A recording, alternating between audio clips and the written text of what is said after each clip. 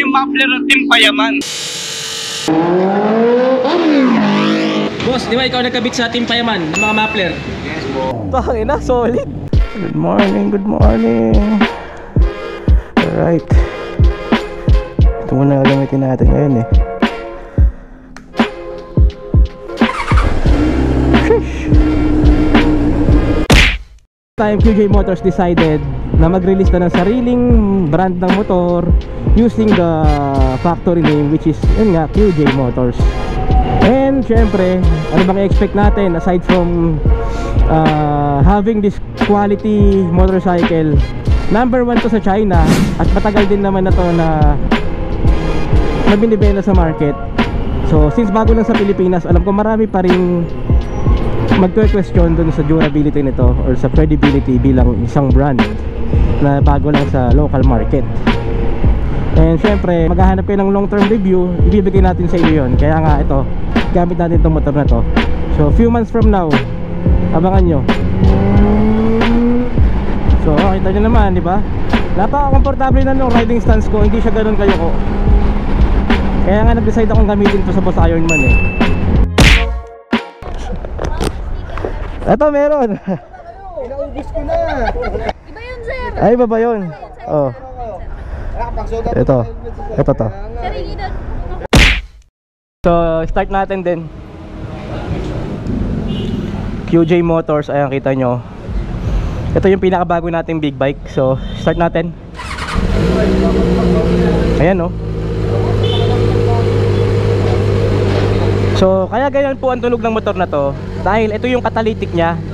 Kumbaga dito naiipon yung hangin Bago ibuga dito sa pinaka outlet o yung canister Oh, dito pa lang nabawasan na yung tunog niya. Actually kahit tanggalin to, ganoon pa rin tunog niya. so ang stock po na muffler is QJ Motor Moto Exhaust Technology. So ngayong araw, andito tayo ngayon sa DK Moto Shop and papatanggal natin tong catalytic na to.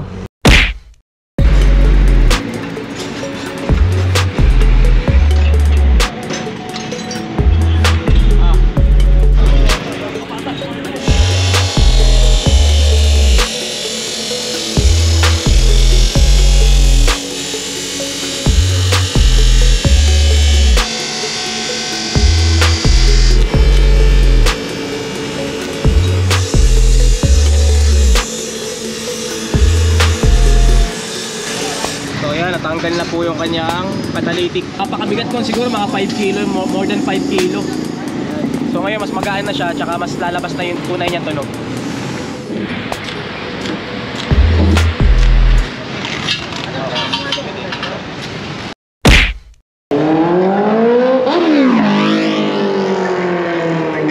Ah, uh, nakabit na ni Boss Alan, the mechanic, ang ating kaha. Kasi kanina hinataw-hataw namin, wala pa palang kaha.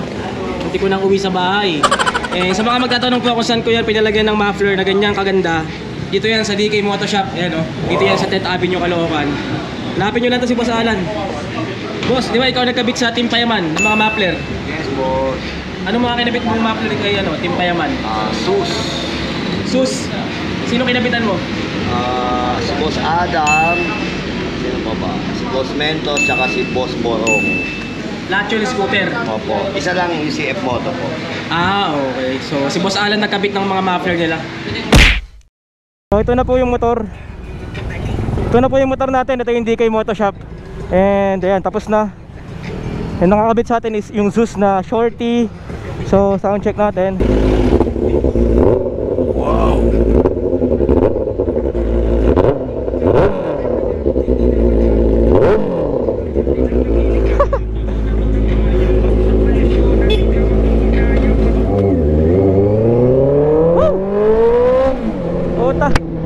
Inang tunog yan. Ang lakas, parang ano siya. It reminds me of uh, ZX6R. Asan ba yung Angel's Burger? Daanan natin si Pink Pototoy.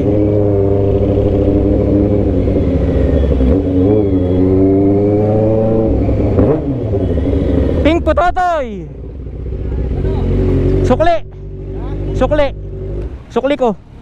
Sukli. Ngayon na. Papagas ako.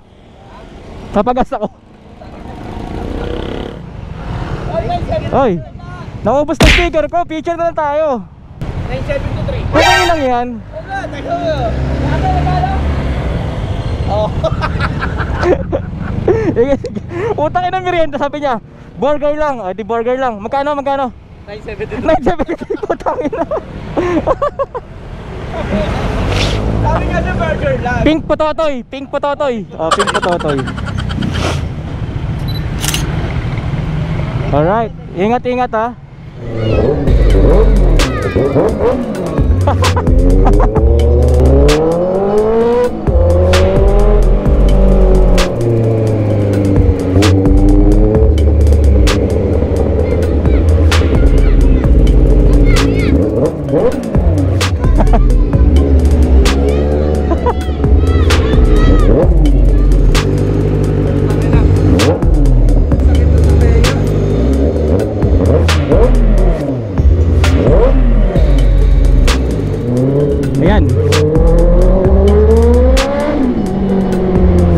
bumibiyak siya ng ano. Ang daan, step bro. Sarap.